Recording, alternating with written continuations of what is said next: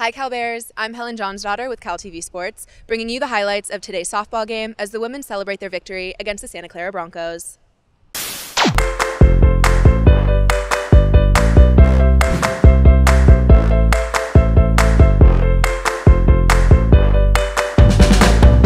The Golden Bears hit the ground running today with Kobe Pettis hitting an RBI triple in the bottom of the first to bring home Kylie Reed.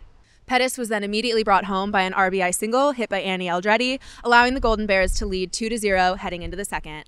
The Bears kept their momentum going in the bottom of the third when Aaliyah Loxamana's double sent Tala Taylor over the home plate. The bottom of the fourth brought the Golden Bears two more runs after Annie Aldrete's second RBI of the game brought in Lindsey Rude and Kobe Pettis. The Bears are now 5 0 heading into the fifth. The Bears managed to continue to hold off the Broncos in the top of the fifth with a double play and pulled ahead to a 7 0 lead with runs made by Vanessa Alvarez and Octavia Bond. With scoreless sixth and seventh innings, the Bears won the game 7 0. Today's game brings the Bears to a 23 13 overall as they prepare for the remainder of their season. That's all for me at Levine Fricke Field. Again, this is Cal TV Sports. I'm Helen Jonsdottir. Go Bears.